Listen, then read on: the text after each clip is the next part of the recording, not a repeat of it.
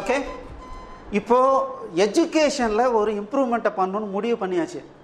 Okay நான் ஒரு மிகப்பெரிய ப்ரில்லியன்ட்டுன்னு சொல்லிட்டு ஒருத்தர் வந்து எனக்கு தெரிஞ்சதெல்லாம் சொல்லித்தரேன். எஜுகேஷன் அடுத்த ஸ்டேஜுக்கு போயிடும்னா போயிடுமா?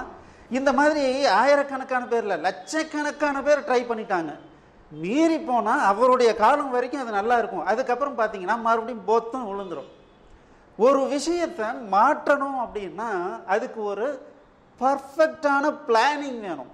ஒரு பிளானிங் அப்படின்னா ஒரு சின்ன எக்ஸாம்பிள் எப்படி சொல்லணும்னா தஞ்சை பெரிய கோயில் பர்ஃபெக்ட் பிளானிங்க்கு ஒரு எக்ஸாம்பிள் ஸோ எவ்வளோ எல்லாத்தையுமே கல்லுலேயே வச்சு ஒரு கோயில் கட்டியிருக்காங்க. அதுக்கு மேலே இருக்கிற கல் பார்த்தீங்கன்னா ஒரு ரவுண்டான கல் எட்டாக பிரித்து கொண்டு போய் சேர்த்துருக்காங்க.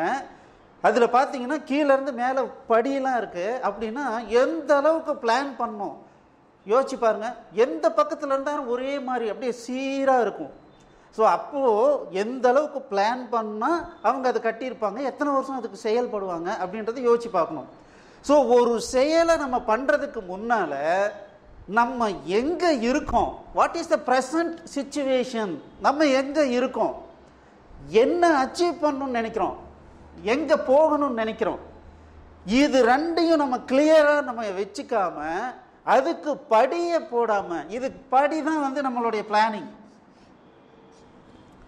நம்ம ப்ரெசண்ட்டில் எங்கே இருக்கோம்? ஃப்யூச்சரில் என்னவா மாற்றணும்னு நினைக்கிறோம்?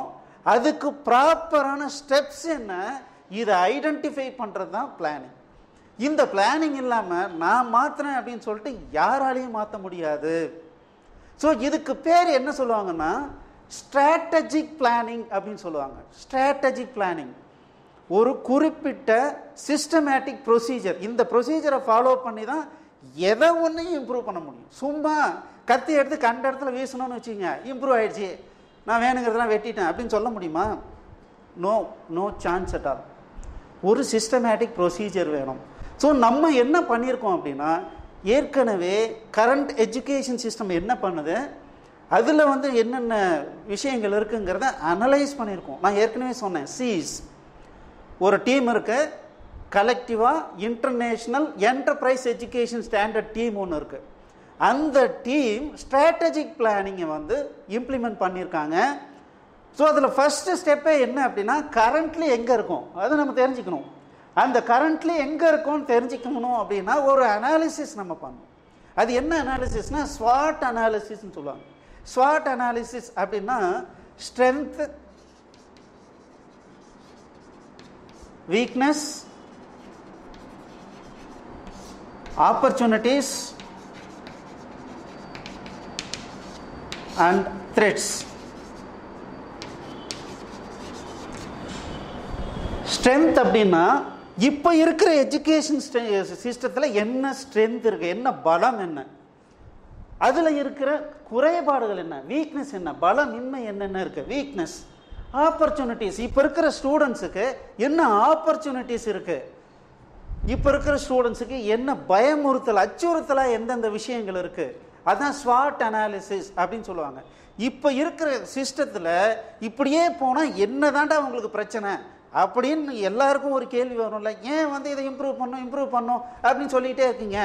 அப்படின்னா முதல்ல இதை நாளையும் நம்ம தெரிஞ்சுக்கிட்டோம்னா தான் என்ன இம்ப்ரூவ் பண்ணணும் அப்படிங்கிறத நம்மளால் ஐடென்டிஃபை பண்ண முடியும். அந்த அனாலிசிஸை எங்களுடைய டீம் பண்ணியிருக்காங்க. நான் ஏற்கனவே சொன்ன மாதிரி சீஸ் அப்படின்ற ஒரு டீம் பண்ணியிருக்காங்க. அதில் ஒரு சில பாயிண்ட்ஸ் மட்டும் உங்களோட ஷேர் பண்ணிக்கிறேன். ஏன் அப்படின்னா இந்த குருகுல வழியில் நுண்ணறிவு களஞ்சியங்கிறது ஏனோ தானோ இங்கே இருக்கிற குப்பையை தூக்கி அந்த பக்கம் விசிறதில்லை. ஆ ஓகே நாங்கள் சரி பண்ணிட்டோம். இனிமேல் நல்லா இருக்கும். அப்படிங்கிறது கிடையாது. ஒரு சிஸ்டமேட்டிக் ப்ரொசீஜர் இது ஹண்ட்ரட் பர்சன்ட் சக்ஸஸ் ஆகும். நீங்கள் வந்து இதை முழு நம்பிக்கையோட இதை ஃபாலோ பண்ணிங்கன்னா கண்டிப்பாக இது ஒரு நல்ல ரிசல்ட்டை கொடுக்கும் அப்படிங்கிறது தான் அதுக்குண்டான எல்லா எஃபர்ட்டும் நாங்கள் போட்டிருக்கோம் அப்படிங்கிறது உங்களுக்கு புரியணுங்கிறதுக்காக ஒரு சில பாயிண்ட்ஸை மட்டும் நான் உங்களோட ஷேர் பண்ணிக்கிறேன். ஃபர்ஸ்ட் பாயிண்ட் ஸ்ட்ரென்த்து இன்னைக்கு இருக்கிற எஜுகேஷன் சிஸ்டத்தில் என்ன பலம்? அப்படின்னு பார்த்தீங்கன்னா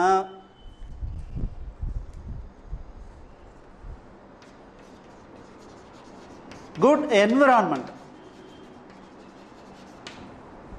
ரெண்டாவது பார்த்தீங்கன்னா லேட்டஸ்ட் டெக்னாலஜி லேட்டஸ்ட்டு டெக்னாலஜிஸ்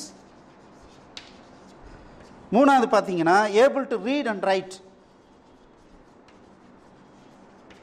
அடுத்தது பார்த்தீங்கன்னா ஹை ஸ்கோர் அடுத்தது பார்த்தீங்கன்னா more people higher studies goes to higher studies இது இப்போ இருக்கிற எஜுகேஷன் சிஸ்டத்தில் இருக்கிற நாங்கள் நிறைய பாயிண்ட் அனலைஸ் பண்ணியிருக்கோம். ஸோ இப்போ இருக்கிற எஜுகேஷன் சிஸ்டம் நிச்சயமாக ஒரு பெஸ்ட்டான எஜுகேஷன் சிஸ்டம் தான். அதில் எந்த விதமான மாற்றமும் கிடையாது. ஒன்றில் ஒரு ஜஸ்ட் ஒரு ஃபிஃப்டி இயர்ஸுக்கு முன்னால் இருந்த எஜுகேஷன் சிஸ்டத்தில் விட இன்றைக்கி எவ்வளவோ இம்ப்ரூவ் ஆகிட்டோம் பயங்கரமான இம்ப்ரூவ்மெண்ட் இருக்குது ஒரு பையனுக்கு ஈஸியாக வந்து நாலேஜை நம்மளால் கொடுக்க முடியுது. அதுக்கு நிறைய விஷயங்கள் ஹெல்ப்ஃபுல்லாக இருக்குது அதில் சில பாயிண்ட்டை மட்டும் நான் போட்டிருக்கேன். ஃபஸ்ட்டு பாயிண்ட் பார்த்தீங்கன்னா நம்மலாம் வந்து ஆத்தோரமாக உட்காந்து ஆற்று மணலெல்லாம் எழுதி பழகியிருக்காங்க. மரத்தடியில் உட்காந்து எழுதி பழகியிருக்காங்க. மழை வந்தால் ஓடி எங்கேயாவது ஒழிஞ்சிக்குவாங்க இந்த மாதிரிலாம் இருந்ததெல்லாம் போய் இன்னைக்கு அட்டகாசமான படிக்கிற என்விரான்மெண்ட்டை உருவாக்கி கொடுத்துருக்காங்க.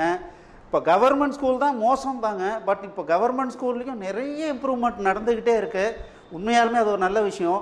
ப்ரைவேட் ஸ்கூல்ஸில் சொல்லவே வேண்டாம். பசங்களுடைய அந்த ஸ்டடி என்விரான்மெண்ட்டை ஒரு சூப்பரான ஒரு பொசிஷன் ஃபைவ் ஸ்டார் ஹோட்டலில் போய் படிக்கிறதும் நம்ம ஸ்கூலில் போய் படிக்கிறதும் ஒன்று தான் அந்த அளவுக்கு ரிச்சான என்விரான்மெண்ட்டு இருக்குது அந்த அளவுக்கு நாமளும் பே பண்ணுறோம் அது டிஃப்ரெண்ட் ஸ்டோரி ஸோ நல்ல என்விரான்மெண்ட் இங்கே இரு இன்றைக்கி இருக்கிற பசங்களுக்கு கிடைக்குது. ஸ்கூல்ஸ் உருவாக்கி கொடுக்குறாங்க. ரெண்டாவது லேட்டஸ்ட் டெக்னாலஜிஸ் இன்றைக்கி வந்து ஏகப்பட்ட டெக்னாலஜிஸ் வந்துருச்சு. ஸோ அந்த டெக்னாலஜிஸ்லாம் வச்சுக்கிட்டு நிறைய விஷயங்களை ஈஸியாக வந்து கற்றுக்க முடியும். ஒன்றும் இல்லை ஒரு காலத்தில் தெர்மாமீட்டர்னால் நாங்களாம் வந்து பார்த்ததே கிடையாது. பத்தாவது வந்த வாட்டி கூட லேபில் எப்போவாவது கூட்டிகிட்டு போய் தெர்மாமீட்டர் காட்டுவாங்க. இன்றைக்கி அப்படி கிடையாது இன்றைக்கி போயிட்டு கடையில் போயிட்டு அதுக்குன்னே சில கடைகள்லாம் வந்துருச்சு. சயின்டிஃபிக்கல் ஷாப் இல்லை ப்ராஜெக்ட் ஷாப் அப்படின்னு சொல்லிட்டு கிரியேட் பண்ணிட்டாங்க. நம்ம போனோம்னா ஒரு நூறுரூவா எடுத்துகிட்டு போனோம்னா நாலு பொருள் வாங்கிட்டு வரலாம். அந்த நாலு பொருளை எடுத்து அனலைஸ் பண்ணால் நிறைய விஷயங்களை கற்றுக்கலாம் ஒவ்வொரு ஸ்கூல்லையும் பார்த்தீங்கன்னா ப்ரொஜெக்டர் இருக்குது கம்ப்யூட்டர் இருக்குது விஷுவல் எய்டு யூஸ் பண்ணி ட்ரைனிங் இருக்குது இந்த மாதிரி நிறைய விஷயங்கள் ஹை டெக்னாலஜியை நம்ம யூஸ் பண்ணுறதுக்கு இன்றைக்கி இருக்கிற எஜுகேஷன் சிஸ்டத்துக்கு ஒரு நல்ல வாய்ப்பு இருக்குது ஸோ அதனால் இந்த பசங்களுக்கு புரியாத விஷயங்களை கூட ஈஸியாக புரிய வைக்கிறதுக்கு நம்மளால் முடியுது. இது ஒரு நல்ல ஒரு விஷயம்தான். அடுத்தது பார்த்தீங்கன்னா ஒவ்வொரு மாணவனும் குறைஞ்சபட்சம் எழுத படிக்க தெரிஞ்சுக்கிறான். ஏதாவது ஒரு லாங்குவேஜ் இப்போ பார்த்தீங்கன்னா தமிழ்நாட்டில் இருக்கிற பசங்க தமிழ் எழுதுறதுக்கு கஷ்ட கஷ்டப்படுறாங்க. படிக்கிறதுக்கு கஷ்டப்படுறாங்க. ஆனால் இங்கிலீஷாவது எழுத படிக்க கற்றுக்குறாங்க ஸோ அப்போது ஏதோ ஒரு லாங்குவேஜை எழுத படிக்க கற்றுக்குறான் அவனுடைய ஐடியாவை எக்ஸ்பிரஸ் பண்ணுறதுக்கு ஒரு லாங்குவேஜ் வேணும். அது ஏதோ ஒரு லாங்குவேஜ் ஸோ அது இப்போ ஈஸியாக பண்ணிட முடியுது. பண்ணிடுறாங்க. சக்ஸஸ் பண்ணி காட்டியிருக்காங்க. அதே மாதிரி பார்த்தீங்கன்னா இன்றைக்கி என்ன பண்ணியிருக்காங்கன்னா ஒரு சிஸ்டமேட்டிக் ப்ரொசீஜரை ஃபாலோ பண்ணி இப்படி இப்படிலாம் இந்த பையனை ட்ரெயின் அப் பண்ணி இப்படி இப்படியெல்லாம் ஸ்கெட்யூல் போட்டு நடத்தி இப்படி இப்படியெல்லாம் ஹோம் அசைன்மெண்ட் கொடுத்து இந்த மாதிரிலாம் பண்ணால் அவன் இவ்வளோ மார்க் வாங்கிடுவான் குறைஞ்சபட்சம் எண்பது பர்சன்டேஜ் வாங்கிடுவான் முடிஞ்சதுன்னா ஸ்டேட் ஃபஸ்ட்டு வாங்கிடுவான் அப்படிங்கிற ஒரு டெக்னாலஜியை உருவாக்கிட்டாங்க. ஒரு சிஸ்டத்தை உருவாக்கிட்டாங்க. அந்த பேட்டர்ன் அந்த பையனை ஃபாலோ பண்ணிகிட்டே இருக்க சொன்னாங்கன்னா ஹை ஸ்கோர் ஈஸியாக வாங்கிடுறான். இதுவே ஒரு பெரிய அச்சீவ்மெண்ட் தான். அந்த காலத்தில் இப்படி ஒரு வழியே தெரியாது. நான் நிறைய ஃபஸ்ட்டு மார்க் வாங்கணும் நிறைய மார்க் வாங்கணும். என்ன பண்ணுறதுன்னா ஒரு கைட்லைனே கிடையாது. இன்றைக்கி அப்படி கிடையாது. ஒரு ப்ரைவேட் ஸ்கூலுக்கு போனோம் அப்படின்னோம்னா ரொம்ப சிஸ்டமேட்டிக் ப்ரொசீஜர்ஸ்லாம் ஃபாலோ பண்ணி கண்டிப்பாக நல்ல மார்க்கை ஸ்கோர் பண்ண வைக்கிறாங்க. அடுத்தது more people are going for higher studies so இன்றைக்கி பன்னெண்டாவது முடிச்சிட்டாவே அந்த பையனை நம்ம நிறுத்தவே முடியாது. அது பையனாக இருந்தாலும் சரி பொண்ணாக இருந்தாலும் சரி. நான் வந்து அடுத்தது மினிமம் டிகிரி ஏதாவது ஒரு டிகிரி நான் படித்து தான் ஆவேன் அப்படின்னு உக்காந்துருவான் ஒத்த காலில். உண்மையாலுமே அந்த பையனுக்கு ஒரு பைசா கூட இல்லை. படிக்க வாய்ப்பே இல்லைன்ற ஒரு நிலைமையில மட்டும்தான் அந்த பையன் போய் படிக்க முடியாத ஒரு சுச்சுவேஷன் இருக்குது அப்படி இல்லைன்னா ஏதாவது ஒன்று பண்ணி அவன் கண்டிப்பாக ஒரு ஹையர் ஸ்டடீஸ் போகிறான் இது மிகப்பெரிய விஷயம். அந்த காலத்தில் அப்படி கிடையாது. நிறைய படிக்கணும்னு நினச்சா கூட மொத்தமே ஒரு நூறு காலேஜ் தான் இருக்கும். அந்த நூறு காலேஜில் எத்தனை பேர் அக்காமடேட் பண்ண முடியுமோ அத்தனை பேருக்கு தான் படிக்க வாய்ப்பு இல்லைன்னா நல்லா படிச்சிருந்தா கூட காசு இல்லைனாலோ இல்லை கொஞ்சம் மார்க் கம்மி இருந்தாலும் நம்ம படிக்கவே முடியாது. ஆனால் இன்றைக்கி அப்படி இல்லை. ஏகப்பட்ட காலேஜஸ் வந்துருச்சு. ஸோ அதனால் இன்றைக்கி இருக்கிற எஜுகேஷன் சிஸ்டத்தில் நிறைய ஹையர் டிகிரிஸ் படிக்கிற பசங்களை ஈஸியாக உருவாக்க முடியுது. இதெல்லாம் இப்போ இருக்கிற ஸ்ட்ரென்த்து இப்போ இருக்கிற எஜுகேஷன் சிஸ்டத்தில் இருக்க ஸ்ட்ரென்த்து அதே மாதிரி சில வீக்னஸும் இருக்குது அது என்ன வீக்னஸ் அப்படிங்கிறத பார்க்கலாம். ஓகே இப்போ வீக்னஸ் ஸோ நிறைய வீக்னஸ் இருக்குது நான் ஒரு நாலு பாயிண்ட் மட்டும் உங்களுக்கு சொல்கிறேன் so first point no time to play or attend any functions இன்றைக்கி தேதிக்கு பார்த்தீங்கன்னா பையனுக்கு விளையாடுறதுக்கு டைம் இல்லை. ஹோம் அசைன்மெண்ட்டை முடிக்கிறதுக்கே முடியாமல் தடுமாறிட்டு இருக்காங்க பசங்க. அதுவும் இல்லாமல் ஒரு ஃபேமிலி ஃபங்க்ஷன் எதுக்குமே போக முடியறதில்ல. ஒரு நாள் லீவ் போட்டு போனோம்னா லீவ் போட்டாவே போதும். அது மிகப்பெரிய குற்றம் அப்படிங்கிற மாதிரி இன்றைக்கி இருக்குது ஏன்னு தெரியல. ஒரு கல்யாணத்தை நடத்தணும்னா அஞ்சு லட்ச ரூபா செலவாகுதுன்னு வச்சுங்களேன் அதில் கிடைக்கக்கூடிய ஒரு ஒருத்தனுக்கு கிடைக்கக்கூடிய மிகப்பெரிய எஜுகேஷனை நம்ம அந்த கிளாஸ் ரூம்லேயே உட்கார வச்சு கொடுத்துட முடியுமா? அது என்னன்னே தெரியல. பையனை விளையாட விடுறதில்ல. பையனை வந்து எந்த ஃபங்க்ஷனையும் அட்டன் பண்ண விடுறதில்ல. ஒரு நாள் லீவ் போட்டால் நீ முடிஞ்ச அப்படிங்கிற மாதிரி தான் நம்ம ஒரு பையனை வளர்த்திக்கிட்டு இருக்கோம். ரெண்டு விஷயம் இருக்குது இண்டிவிஜுவல் பிஹேவியர் அண்டு கலெக்டிவ் பிஹேவியர்னு ஒன்று இருக்குது ஸோ இண்டிவிஜுவல் பிஹேவியர்னா ஒரு ஒரு மனிதன் தனியாக இருக்கும்போது நல்லவனாக நடிச்சிட்டு இருப்பான். ஆனால் ஒரு கூட்டத்தோடு சேர்ந்தாதான் அவனுடைய உண்மையான ஸ்வரூபம் என்னன்றது வெளியே வரும். ஸோ இந்த மாதிரி ஃபேமிலி ஃபங்க்ஷன்ஸ் ஒரு கல்யாணத்துக்கு போகிறது ஏதோ ஒரு விசேஷத்துக்கு அட்டன் பண்ணுறது ஒரு கோயில் விசேஷத்தில் கலந்துக்கிறது இதெல்லாம் எதுக்குன்னா அவனுடைய குரூப் பிஹேவியரை என்னன்னு தெரிஞ்சுக்கிறதுக்கு அவன் குரூப் பிஹேவியரை இம்ப்ரூவ் பண்ணுறதுக்கு ஒரு வாய்ப்பு. நிறைய பேர் கூட பழகுறதுக்கு ஒரு வாய்ப்பு. இப்போ அப்படி பழகுனீங்கன்னா நீ எங்கள் ஸ்கூலுக்கு வராத. நீ மாதம் ஒரு முறை லீவ் போட்டீங்கன்னா எங்கள் ஸ்கூலுக்கு வராதுன்னு சொல்கிற நிறைய ஸ்கூல் இருக்குது இதுக்கு கவர்மெண்ட் ஸ்கூலில் படிக்க வைக்கிறது ரொம்ப பரவாயில்லன்ற அளவுக்கு இருக்குது இது ரொம்ப ரொம்ப நான் ஏன் இதை ஃபோர்ஸாக சொல்கிறேன் அப்படின்னா அவ்வளவு டேஞ்சர் அதில் இருக்குது அந்த பையனை அழிக்கிறதுக்கு சமம் இது. அதனால் நான் சொல்கிறேன் ரெண்டாவது பாயிண்ட் என்னன்னா நோ டைம் ஃபார் ஃப்ரெண்ட்ஷிப் இன்றைக்கி ஸ்கூலுக்கு போனால் அந்த பையன் வரும்போதே போராக வரான். ஏன்டா போரா வரேன்னு கேட்டால் எப்போ பார்த்தாலும் டீச்சர் ஷட்டப்பு ஷட்டப்புன்னே சொல்கிறாங்க பேசவே கூடாதுங்கிறாங்க. அப்போது பேசவே இல்லைன்னா அந்த ஸ்கூலுக்கு போகிறதே வேஸ்ட்டு நம்மளே வீட்டில் உட்கார வச்சு சொல்லி கொடுத்துடலாமே. அந்த பையன் அங்கே போய் நிறைய பேர் கூட பழகுறதுக்கு அங்கே போகிறது group behaviour is very important ஏன் இந்த சோசி சொசைட்டியில் ஒரு ஸ்கூலில் போய் ஏன் படிக்கணும்னு சொன்னாங்க? அந்த பையன் அங்கே போய் பேசணும்.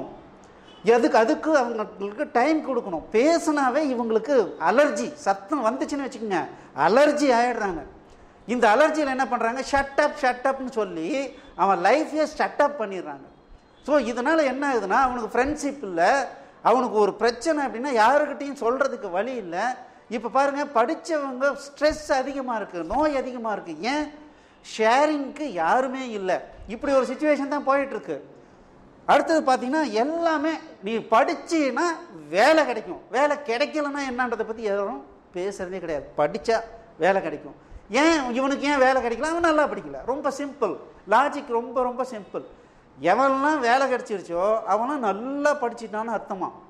நாட் என்டர்பிரினர்ஷிப் டே நீ உனக்கு படிப்பு வரலன்னா நீ முதலாளிடா அப்படின்னு தட்டி கொடுத்து அவனை முதலாளி ஆக்குற எந்த ஒரு விஷயத்தையும் நம்ம சொல்லி கொடுக்க தெரியாது. பண்ணுறதும் கிடையாது. This is very very important no intelligence ஒரே விஷயத்த டெய்லி எழுதி எழுதி எழுதி எழுதி பார்த்தா தூங்கிட்டே எழுதணும் அவன். பாருங்கள் நைட்டு பத்தரை மணிக்கு கூட உட்காந்து பா பாருங்க அந்த பசங்களாம் தூங்கிக்கிட்டே எழுதுவான். அப்படின்னா என்ன அர்த்தம்? எழுதுறான். அதுக்கு என்னன்னு அர்த்தம் புரியல. அதனுடைய முக்கியத்துவம் என்னன்னு தெரியல. இதயத்துக்கு போகலை. சும்மா எழுதுறான். இதனால் என்ன ஆகுது இது ஒரு இது எனக்கு தெரியும். டேய் உனக்கு கம்ப்யூட்டர் பற்றி தெரியுமா? தெரியும். சயின்ஸ் பற்றி தெரியுமா? தெரியும். இங்கே சயின்ஸில் இது இதுன்னா இது என்ன பண்ணுறது சொல்லுப்பா. அப்படின்னு சொல்லுங்கள் அது தெரியாது. அந்த மாதிரி ஆகிப்போச்சு ஸோ இன்டெலிஜென்ஸ் அப்படிங்கிறது எழுதிக்கிட்டே இருக்கிறது இன்டெலிஜென்ஸ் கிடையாது. ஆனால் இப்போ நிறைய எழுதிக்கிட்டே இருக்காங்க.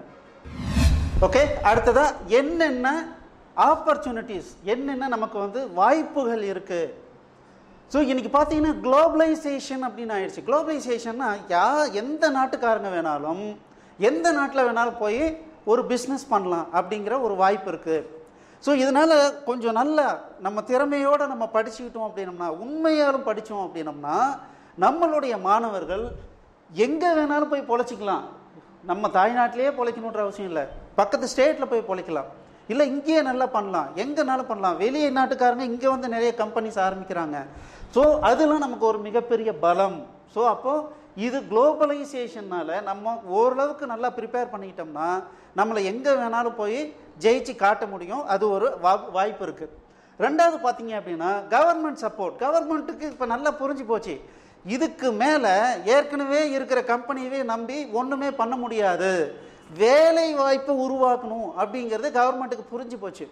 ஸோ அதனால் என்ன பண்ணுறாங்கன்னா பெருசாக ஒரு ஹெல்ப் பண்ண முடியலைனாலும் ஏதோ ஒரு லட்ச ரூபாயோ இல்லை ஐம்பதாயிரம் ரூபாயோ கடனை கொடுத்து ஒரு நீயே ஒரு பிஸ்னஸ் ஸ்டார்ட் பண்ணி நீயே பொழைச்சிக்கோ அப்படின்னு சொல்லி நிறைய சப்போர்ட் கொடுக்குறாங்க ட்ரைனிங் கொடுக்குறாங்க இந்த மாதிரி நிறைய விஷயங்கள் இருக்குது ஸோ இதெல்லாம் நம்ம நம்மளுடைய மாணவர்களுக்கு ஆப்பர்ச்சுனிட்டிஸ் இதுவே நிறைய பேருக்கு இருக்குதா இல்லையான்றது தெரியாது. ஆனால் இந்த மாதிரி நிறைய சப்போர்ட் இருக்குது அதை வச்சுக்கிட்டு நம்ம புது விஷயங்களை கற்றுக்கலாம் நம்ம புதுசாக பிஸ்னஸ் பண்ணலாம். தாராளமாக பண்ண முடியும். அடுத்தது த்ரெட்ஸ் என்ன அச்சுறுத்தும் தன்மை என்ன அப்படின்னா எந்த அளவுக்கு குளோபலைசேஷன் ஆச்சோ அப்போவே காம்படிஷன் அதிகமாகிடுச்சு நம்ம ஏனோ தானோன்னு படிச்சுட்டு எந்த எக்ஸ்பீரியன்ஸும் இல்லாமல் எதையுமே சாதிக்க முடியாது. ஸோ அப்போ பார்த்தீங்கன்னா நான் எம்இ படிச்சுட்டேன் பிஹெச்டி படிச்சுட்டேன்றவன் எந்த பிஸ்னஸை ஸ்டார்ட் பண்ணாலும் அது ஃபெயிலியூர் தான் ஆகுது. பத்தாவது படித்து ஒரு பத்து வருஷம் எனக்கு எக்ஸ்பீரியன்ஸ் இருக்குது நான் ஒரு பிஸ்னஸ் பண்ணுறேன் அப்படின்னா அவன் சக்ஸஸ் பண்ணுறான் ஏன்னா எழுதி எழுதி படித்து நம்ம எந்த ஒரு விஷயத்தையும் முழுமையாக கற்றுக்கிறது இல்லை. ஆனால் எக்ஸ்பீரியன்ஸோடு நம்ம கற்றுக்கிறது தான் உண்மையாலுமே நமக்கு உபயோகமானதாக இருக்குது ஸோ அப்போது நம்ம வெரி டஃப் காம்படிஷனை ஃபேஸ் பண்ண வேண்டியிருக்கு. அந்த காம்படிஷனுக்கு நம்ம எப்படி தயார்படுத்திக்கணும்? ஸோ அந்த மாதிரி தயார்படுத்திக்கிட்டோம்னா தான் இந்த அச்சுறுத்தலை நம்ம ஃபேஸ் பண்ண முடியும். அடுத்தது பார்த்திங்கன்னா ஹையர் பாப்புலேஷன் இப்போ இந்தியாவில் பார்த்திங்கன்னா பாப்புலேஷன் வெரி வெரி ஹை நம்ம என்ன முப்பது கோடி சுதந்திரம் வாங்கும்போது இன்றைக்கி பார்த்தீங்கன்னா நூற்றி முப்பது கோடி. ஐம்பது வருஷத்தில் நூறு கோடி பேர் அதிகமாயிருக்காங்க. ஸோ அந்த அளவுக்கு நிச்சயமாக தண்ணி பிரச்சனை சாப்பாட்டு பிரச்சனை எல்லா பிரச்சனைகளும் தான் வரும். ஸோ இதையெல்லாம் தாண்டி வாழ்கிறது தான் வாழ்க்கை. இல்லைங்களா? அப்போது இந்த த்ரெட்ஸ் எல்லாம் நம்ம எப்படி ஃபேஸ் பண்ண போகிறோம் எல்லாமே இருக்குது ஸோ முதல்ல ஒரு விஷயம் நாங்கள் சொல்ல விரும்புகிறேன் இருக்கிற சிஸ்டத்தை இம்ப்ரூவ் பண்ணுறோன்னு ஏதோ எங்களுக்கு தோணுனதெல்லாம் நாங்கள் ஒன்றும் பண்ணலை. சிஸ்டமேட்டிக்காக கரண்ட் சிஸ்டம் என்ன அப்படின்ற முழு நாலேஜ் அனாலிசிஸ் பண்ணிட்டு தான் இப்போ நுண்ணறிவு களஞ்சியம் அப்படின்ற ஒரு விஷயத்தை உருவாக்கிக்கிட்டு இருக்கோம். ஸோ அதனால் இது எவ்வளோ ஒர்த்தியாக இருக்குன்றதை உங்களால் புரிஞ்சிக்க முடியும். ஸோ நெக்ஸ்ட்டு வந்து பேரண்ட்ஸுக்கிட்ட சில ரிக்வஸ்ட் இருக்குது எங்களுக்கு. அதே மாதிரி ஸ்கூல்ஸுக்கு சில சஜஷன்ஸ் இருக்குது அதுவும் இந்த நேரத்தில் பகிர்ந்துக்கணும்னு நான் நினைக்கிறேன். ஸோ அதுவும் ஃப- அவங்களுடைய சப்போர்ட்டும் இருந்ததுன்னா இது நிச்சயமாக ரொம்ப சக்ஸஸ் ஆகும். மாணவர்களுடைய லைஃப் நல்லாயிருக்கும் ஆக்சுவலாக பார்த்தீங்கன்னா எல்லாரும் பாவம் கஷ்டப்படுறோம். ஏன்? இந்த பசங்களாம் நல்லா இருக்கணும்னு தான் கஷ்டப்படுறோம். பட் நமக்கே வழிமுறை தெரியல. என்ன பண்ணால் நம்ம போய் கரெக்டான இடத்துல போய் ரீச் பண்ணுவோம்? அப்படிங்கிற வழிமுறை தெரியல. அதனால் அவங்கவங்களுக்கு தோன்றதெல்லாம் பண்ணிக்கிட்டு இருக்கோம். ஸோ எங்களுக்கு சிஜ எங்களுடைய டீம் ஒரு சஜஷன் கொடுத்துருக்காங்க. அதை நான் உங்ககிட்ட இப்போ ஷேர் பண்ண போகிறேன் அது என்னன்றதை அடுத்ததாக பார்க்கலாம். தேங்க்யூ